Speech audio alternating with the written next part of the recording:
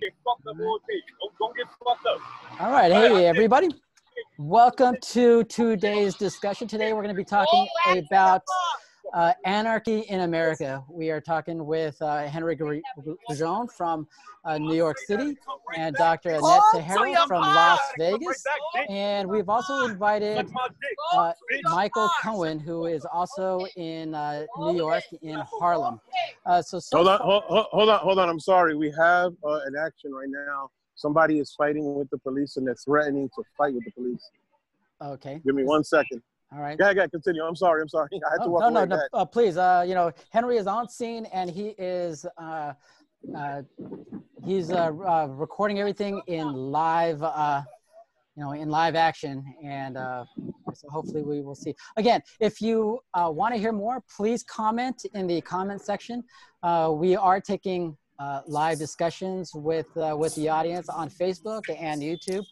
Uh, so if you have any questions uh, with uh, what's going on in Los Angeles, uh, what's going on in Las Vegas, as well as what's going on in New York and New York uh, Harlem, feel free to post questions in the comments. so Dr. Annette, while, while we connect with Henry, Dr. Annette, what is going on with Las Vegas and um, you know, some major things have happened, but let's hold off on what happened to the officers today. But what are you seeing in, in Las Vegas right now? Well, most of Las Vegas seems to be doing okay. Once once the protests start, they've they've so far been in the downtown area and the strip, but they are moving into different areas. So right now, there's nothing going on in my area. We don't know when and if things are going to happen. Um, law enforcement is on hyper alert.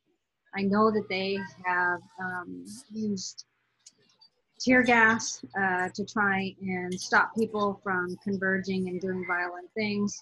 Uh, obviously, uh, I'm sure that most people across the nation have heard about the officer who was shot on the strip. Um, that's extremely tragic, and the suspect is under custody. And hopefully, people will realize that protests do not involve violence. And right. That's right. what Absolutely. Great, great message. Uh, now, Henry, you are in uh, New York and uh, the, the neighborhood that you actually live in uh, saw some major violence. Uh, can you describe what happened last night? And, uh, and then we'll talk about what's going on right now. Yes, thank you, Edwin. It's an honor to be with you and with Dr. Net. Um, this is what Fox News has created and said that we had widespread violence, rioting, I don't live too far from here, so I saw the helicopters. And just a little while ago, uh, everybody that's listening, I just saw a gentleman right now in the street about to threaten another person. And behind me, I have NYPD's finest. These guys are doing, and the lady, they're doing what they can.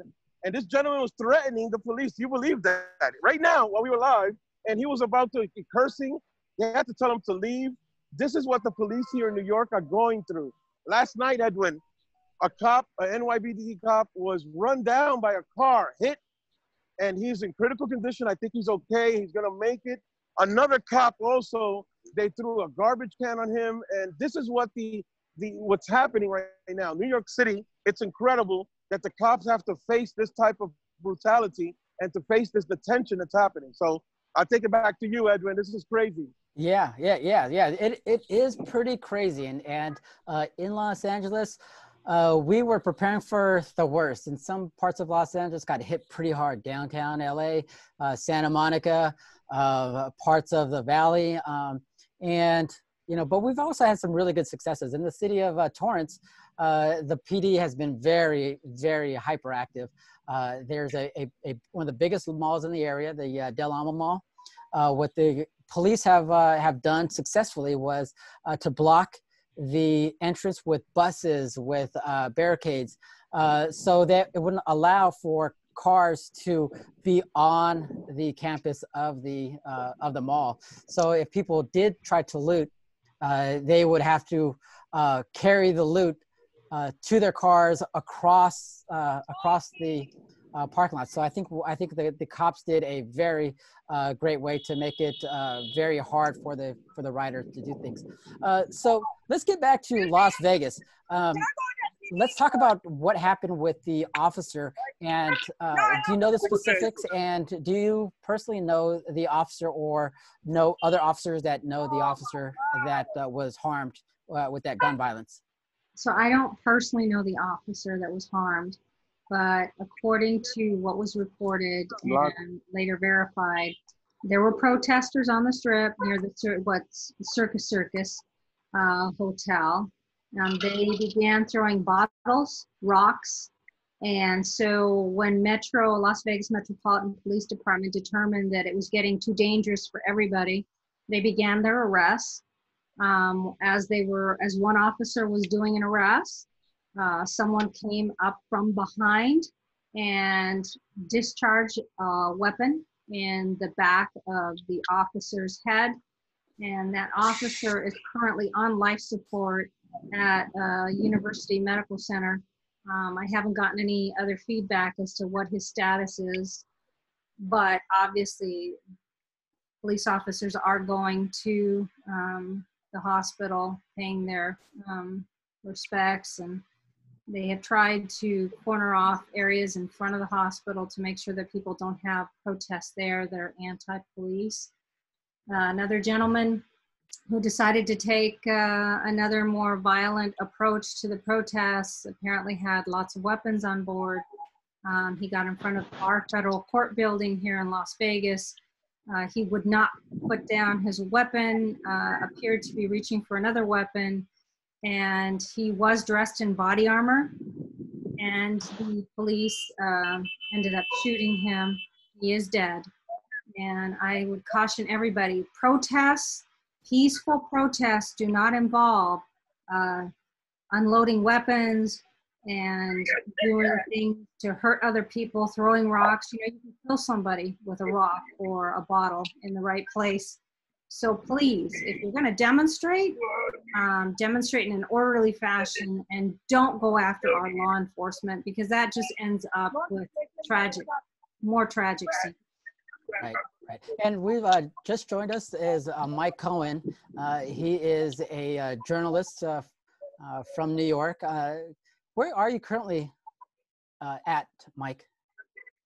Um, currently, we're in an area known as Spanish Harlem, sort of near 125th Street, which is kind of where a, a lot of these protests in the 60s, which is this is being compared to, to have taken place. So, you know, uh, unfortunately, I've had to uh, run into a room for a little while because there was construction going on near the living room, and, and, and there's also other people, t- like typical New York uh, living, you, you share an apartment, and they they, uh, they had use of the kitchen and the dining area for a while. So life goes on, uh, even with what's going on in the street.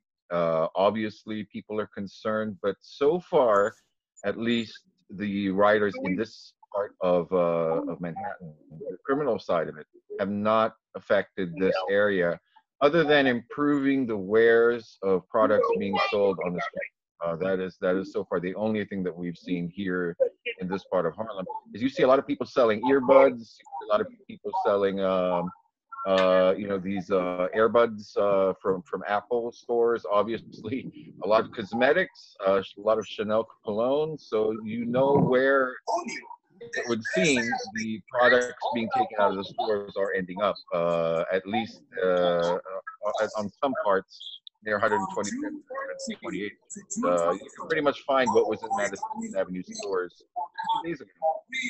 Right, right, and that's uh, you know for the new capitalists and new entrepreneurs of of this anarchy group. Uh, you know they're getting their supplies from uh, looting, obviously, and in you know and uh, you know, we've seen uh, in social media, Twitter, Facebook, where it's very organized, and it apparently seems that uh, you know that you have shot callers on social media describing what's going on and uh, and talking on on social media what the police scanners are telling them. Uh, so, Henry, you are a former NYPD. Uh, can you verify that uh, these looters and rioters are getting information from uh, social media as where the vulnerable areas are to go to? Yes, they are. Right now, what the information we're getting from uh, sources is that they're using a sophisticated way. They're using uh, two-way radios, and they have scanners. There's even scanners that you can download on your phone, and they're listening in on the cops to see what area. And when things are going down, they'll let people, you know, their people know the cops are doing this, and they move around. They're very organized. I got to tell you guys that what I notice also is that they are not too here in my area. I don't think they're being with, uh, you know, with sources from the outside, like a George Soros type. These folks here are just young people who are bored from the coronavirus being locked up, and they had an opportunity to loot. There's a lot. My area is very condensed. Uh, the borough of the Bronx, it's a million people. My area, it's a good 175,000. And right now, the police last night, you could sh- you could see in videos that they were overrun. Everybody was just right now. They're boarding up a lot of these stores, and I don't know if you can see from behind me. Uh, behind me, they're boarding up stores, and that's what they're looking at. One final thing before you move on: the big fight is is that the governor of New York State refuses to have the National Guard to assist the NYPD. NYPD is trying, but they were overrun yesterday, and they expect this to get worse. The curfew was just now, uh, they sent us a couple of alerts from 11 p.m. to 8 p.m. So we're looking of another night of unrest, and it could be worse in my area and all over the city. Right, right. And I'm going to pose the question to uh, either Mike or Henry. Uh, your uh, your mayor, Mayor Bill De Blasio, he has uh, been known to be anti-cop, anti-police, and in fact, his uh, daughter was recently arrested uh, for for for protesting. And with his uh, stance, just, just a he- correction, Edwin, Edwin, Edwin. He, she wasn't arrested by the NYPD for protesting. She was arrested for being part of a group that was throwing objects at police officers. Let's Okay. clarify that.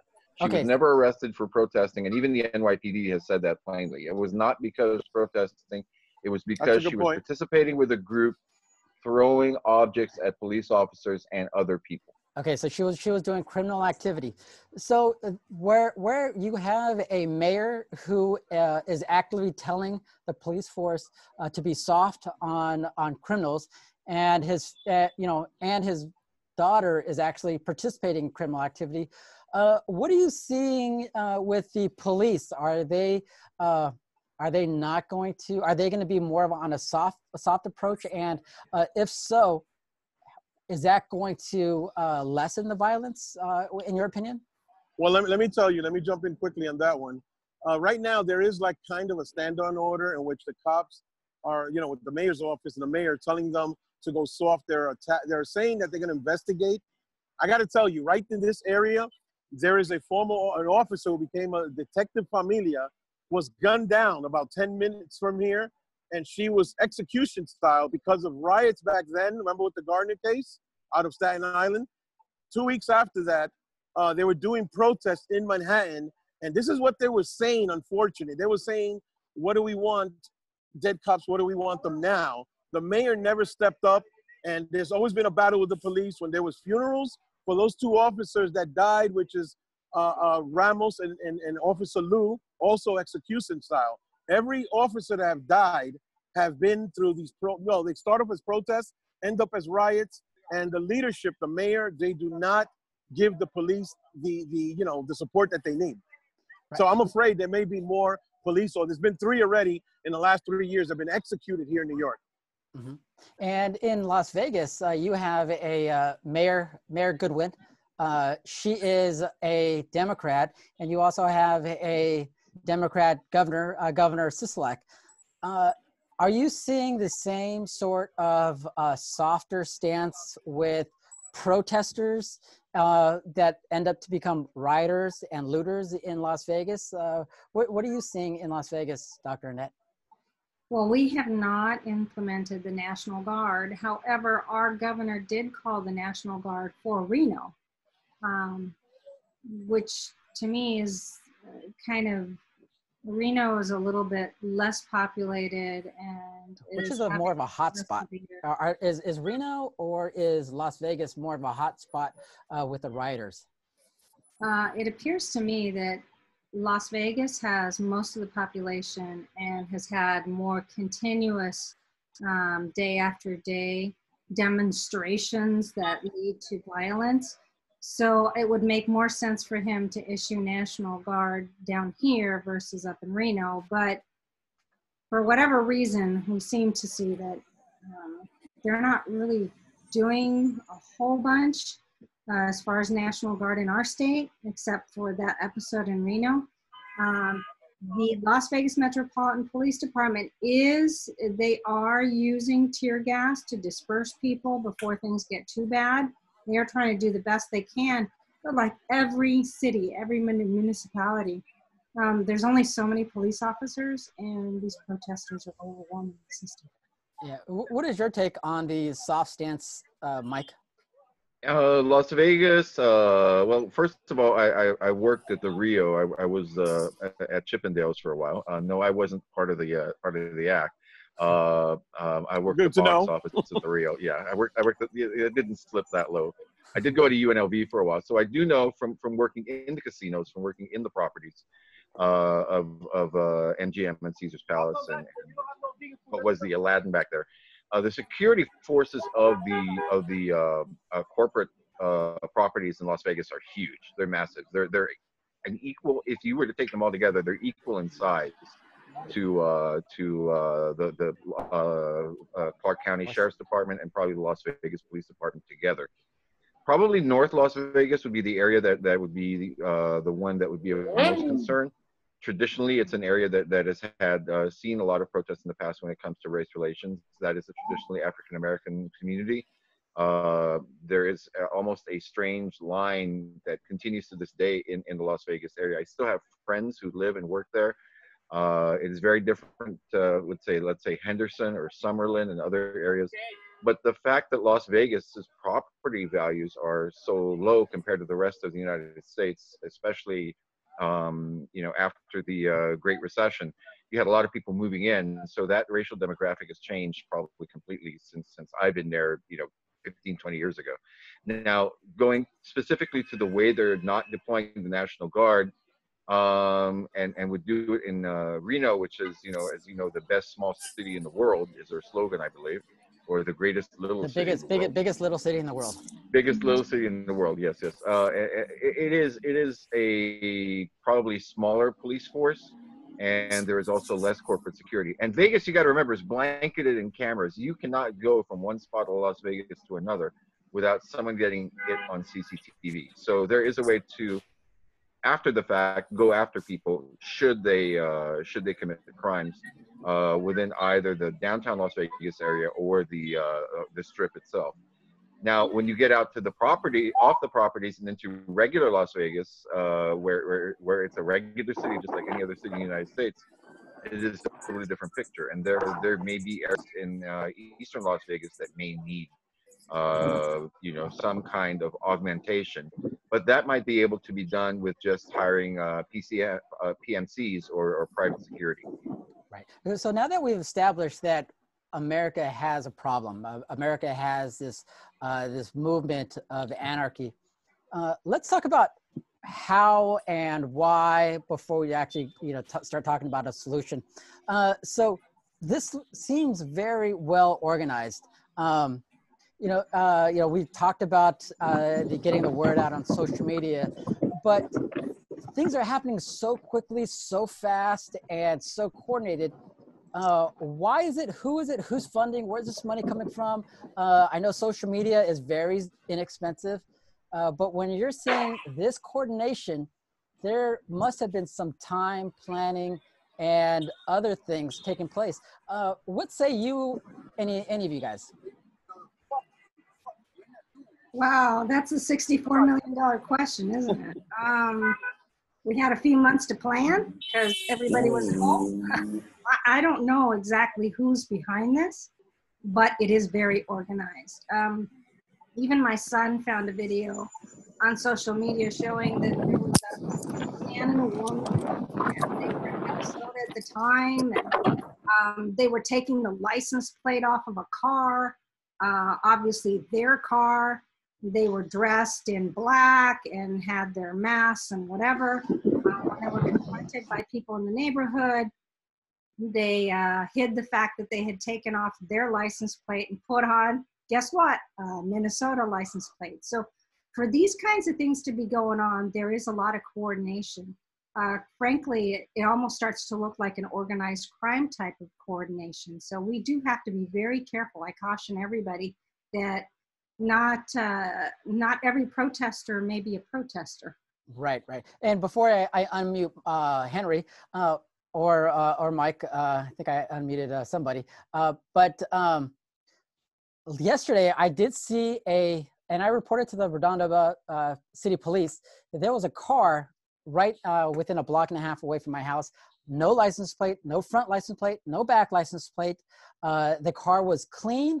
The uh, registration, the uh, glove uh, glove compartment was open. No uh, no papers. Um, it, it, seemed a little suspicious to me because there were rags in the in the back seat, and there were supposed to be some rioting uh, about a half a mile from where this car was located, about a half half a block from my house. And so I I, I suspect that the riders were going to uh, stash that car for for a getaway. Um, so what are you, what are you seeing in uh, in New York uh, that uh, that you know that uh, you know about planning and and getting the word out, uh, Henry? What what are you seeing? Oop, you're un, oh, let me unmute. Go ahead. You unmute me? Yeah, Okay. I unmuted. Uh, right now, the problem that we have is for tonight, which will be the next night. Uh, what's happening right now? The fight is is that the governor does not want to send the National Guard in.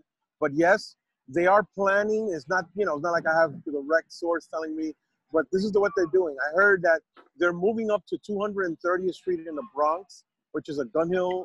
They call it the Gun Hill area. That's another shopping area. It could be they're going to hit that, but I think that they, they may be trying to put through the social media to try to throw the cops off and have everybody or the cops mobilize over there because that's what they do. They mobilize units and they, they they call it a level one, level two, level three. And when they name these levels, is that they're at full scale. And the cops right now are they're taking cops from other precincts going to Manhattan, going back and forth. I think that what they're trying to do tonight is they're going to continue in my area. And right now, if the National Guard, and I'm gonna say it again, if the National Guard is not here by tonight, we're gonna face more rioting. There are gonna be more uh, businesses uh, being broken into. My area was, it looked like something worse than Baghdad. They had fires all over the place. They broke into two banks. They took the ATM, ripped it out, and took money in the amounts I heard of fifteen to twenty thousand dollars in these machines. And right now, the cops are it's just incredible. Right now, they're boarding up the businesses in my area because they're preparing for like a it's like a superstorm that's coming, and the businesses know what's happening. Uh, I don't know what to tell you, man. This is getting really. If the National Guard does not come as soon as possible, I don't know what's going to happen. Okay, as as a former NYPD uh, officer, when you are when you hear that the uh, these criminals, these rioters, these uh, uh, these looters are using social media to scan, uh, or they're they're using they're, they're scanning the police scanners and uh, uh, publishing what they're finding on social media is you know and i'm assuming the police know that right and if so are they using uh, other ways uh, other scanner uh, channels and if they're using other scanner other scanner channels to uh, uh, communicate with other police is that legal It is legal in New York. I don't know about other states, but New York, someone can use a police scanner and listen in. What's illegal is if they talk into it. They say hi, just the word hi, that's considered a felony here. Uh, so they won't do it. The criminals. I'm sorry. Hold on one second. okay Go So- ahead. Okay, so uh, what, what the question is is is it legal for police to use uh, private private uh, communication amongst the other police, uh, where the scanners are kind of a of of, of a public domain uh, radio frequency? Is is there uh, can the- can the cops use uh, more secure ways to communicate with each other? Uh, what the cops do now is is that they do open their open CBs. They use it. They know people listen to it. Cops do use their cell phones. That's something a lot of cops, uh, um, especially ones that are senior officers, they have their cell phones that are supplied by the city, and those are part of the city for work reasons. And they do use the cell phone sometimes to stay off the air. They have been doing that. They're aware that the scanners the CBs are the, the other people can listen. So they do go on. They use um, their cell phones, which is the city uh, uh, issued cell phones, and they're able to do that. So it's like a, a, a game of cat and mouse. The criminals do one thing, and then the cops do another. So everybody's playing that little uh, catch and catch. So Right. yes, the, the, the cops are using their sometimes personal phones, but they're not supposed to. They use uh, city issued cell phones, and they use to communicate with that. Uh, Mike, what what are you Edwin? hearing on Yeah. the federal side? Well, on, on the on the scanner, let's go back to the scanners Okay. first of all, uh, very very quickly. Uh, I did have a uh, like a uh, uh, what do you call it, the amateur radio license back in the day, and I do have this scanner app on my phone, and I am listening in. Last night, to give you an idea, normally the scanner channels for New York City they number a couple of hundred. You know, as a father of teenagers, I've taken to to be a habit of uh, turning on the police scanner at night and letting it be my lullaby to sleep while my especially when my sons are out but nowadays obviously it's a different story. Uh, i'm listening in for for other reasons because of the the crime in the area and i'm also worried you know? Um so last night for the first time i saw the scanner numbers on the central channel for nypd had gone up to 12000 listeners. Normally it's around 200 because you can see how many people are on there. And also when you use these apps you have to remember the police also know that people are listening and sometimes may not exactly be giving the most accurate information. Like last night they said okay everybody go home you know that's it it's over. And then the next thing you know boom at about 3.30 they announced everybody it's over we're wrapping up things everybody go home. And then at about uh, 4.45 they started rounding up people who were sneaking out of the little alleys and uh, hallways with uh, with the stuff they had stolen um, there's a video that I posted on my Facebook page that you can probably uh, download and even add to this meeting later on when you upload it.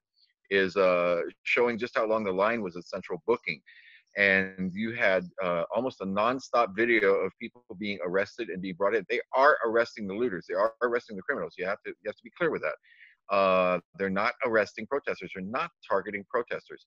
There must be a clear demarcation between the two. Then there are the anarchists.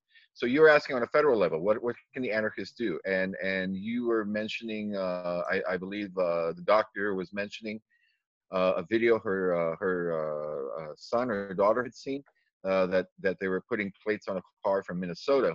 Well, guess what? If if they're in a another state and crossing a state line to go to loot or do something, let's say people kids from California decide, oh, we want to hit the shops at Bellagio or or we want to you know we want to hit the uh, we we want to hit the uh, retail uh, discount stores, uh, you know the the uh, outlet stores in, in Vegas because they think that that would be a good uh, way to augment their grief over the current situation and compensate themselves that way.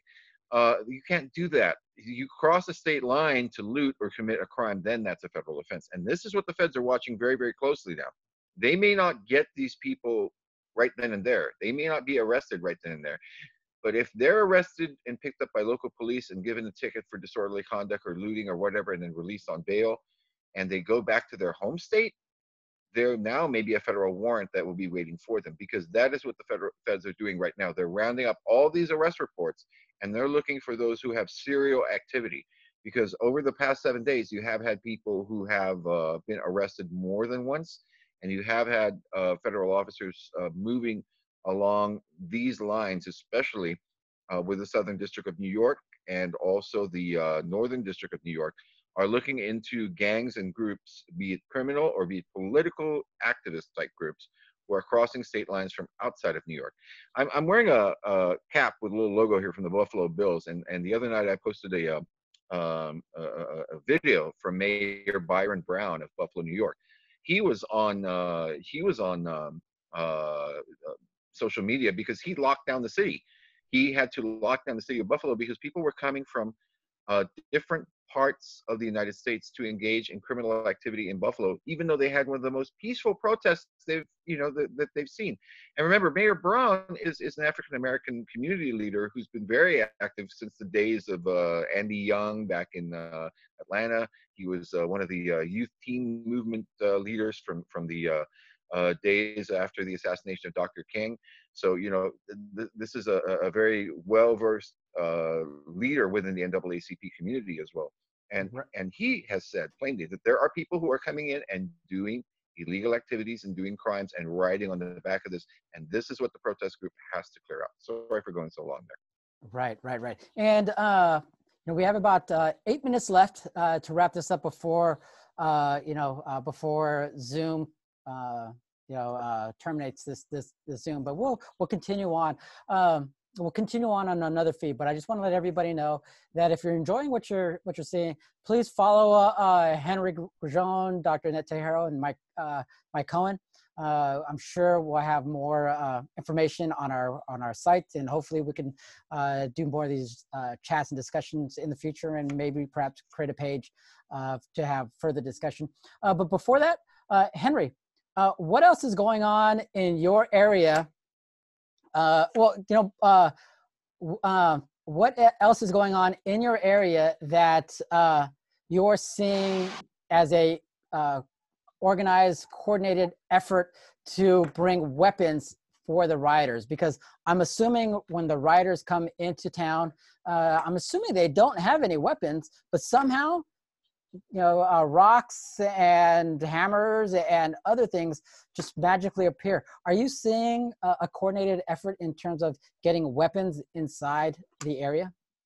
Not really. I don't have enough information that they're doing that. What they're doing is is they the city officials have taken away garbage cans. They're going to make sure that that's what's being used to throw at the businesses that have glasses. Again, if you can notice behind me, all they're doing right now is boarding up right now. But what, in regards to your question, I don't have enough information on that. But they are they, they come with their own uh, sticks. They come with their own uh, bricks. But I don't see anything like what we saw before of bricks being laid before the protesters come or the ones that turn rioters. I have not seen that in this area, but we are waiting. Uh, tonight, they say it's already four o'clock here in New York time. We expect now the new curfew time is 8 p.m. and we'll see what's going to happen. And we're going to get more video on it. Uh, people have been sending me videos, but no, I don't have enough information. Do you think, and not to give any, uh, you know, giving hints away to to the protesters, or the writers. Uh, very quickly, uh, Edwin, Edwin, can I jump in? I've yeah, got to sure. say goodbye. My battery's about to die. So bye, Doc, uh, Henry, and uh, thank and, you, Mike, and, and, of course you, Edwin.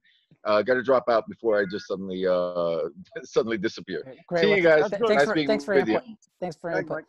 Uh, what what we're seeing, we're, we're also seeing is, well, uh, what? Let me finish my thought. You know, now that we know that uh, the uh, business owners are, uh, you know, are uh, boarding up their, um, you know, their their facilities. What do you think? Do you think the these criminals are going to wise up and bring crowbars to take down the the boarding? You know, they they they're pretty smart. And do you think they're going to figure that out, or are they just going to come in with sticks and stones and uh, try to kick the boards down? What what do you, do you or do you think the the actual boards are going to be a deterrent to looting? I think both. I think you're going to have a group that is going to not have the crowbars. I think there's going to be another group that they're seeing this because they walk around and they're going to come prepared. Now, I'm assuming that if the cops see somebody with a crowbar, they're going to question them before they start doing what they're going to do. So that's what we're noticing right now. They, they, they're walking around. I see a lot of young people walking around, and it may get to the point that, yeah, right now it's two groups right now. One is going to come prepared, and the other group is going to show up with no break, with nothing, and they're going to just try to do that. Not all businesses are boarded up. That's the unfortunate for some businesses. They cannot do it. And those are the ones, and that's what they say the cops are going to try to, uh, they're going to try to bring cops from other precincts, but they're already strained by so many situations. And right now, like I said, that area of the Gun Hill area is going to be the next area they might be hitting. Right, right. Now let me ask you, uh, Dr. Annette, this. You know, I have a, you know, I have a theory as well as uh, other people have theories where they, you know, the, the left is using this whole day event as a multi-part uh, event. You know, uh, where they're pushing to the uh, to the uh, you know, to the media. The first part of the event is the organized, peaceful rallies in the morning, where you know it's what if you listen to what they're talking about, it's not so it's not very peaceful. Uh, their their words and when they say words matter, if you listen to their words, it's very violent. It's very let's destruct America. Let's uh, you know you know we have to do this so this can happen. So and then the second part is you know they they do a a, a march. And during that march, it seems like uh, emotions are, are, are fueling even more. And then when the light goes down, that's when you have all the vi- violence and the, the evilness come. Uh, what's your take on on those types of theories?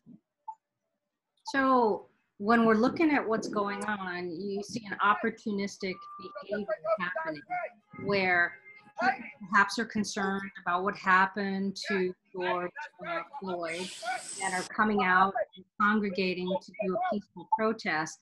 Inside of that group of people are probably people that are either scoping out opportunities to commit criminal acts um, or frankly have some bias and hate for all law enforcement and therefore are also focusing that hatred, that level of thought into their quote unquote protest.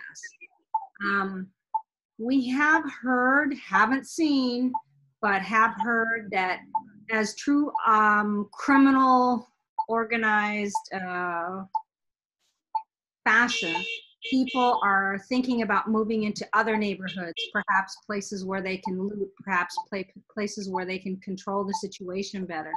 So I would caution everyone, um, even if you're not going to the protest, to keep their eyes open because mobs can move fairly quickly. Mobs can have people in them that have other intentions, and large groups of people can be uncontrollable for a police force. So we really have to be careful because we don't have a police officer for every family. And, you know, throwing rocks and throwing bottles can sometimes injure people much worse than a gunshot.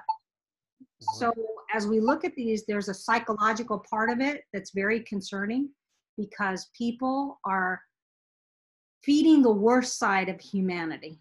And it just can be very, very dangerous very, very quickly. Right, right, right. Uh, well, we're we're coming on the uh, the 40 minutes uh, that Zoom allows us, but I want to thank you uh, for your opinion, uh, Dr. Annette.